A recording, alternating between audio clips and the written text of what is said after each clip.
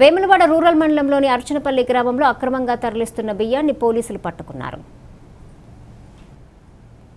Vemulawada rural మండలంలోని అర్చనపల్లి గ్రామంలో ఆటోలో తరలిస్తున్న పదకొండు క్వింటాళ్ళ రేషన్ బియ్యాన్ని ఎస్ఐ సౌమ్యారెడ్డి సిబ్బందితో కలిసి పట్టుకున్నారు. బియ్యాన్ని స్వాధీనం చేసుకుని ఆటోను సీజ్ చేశారు.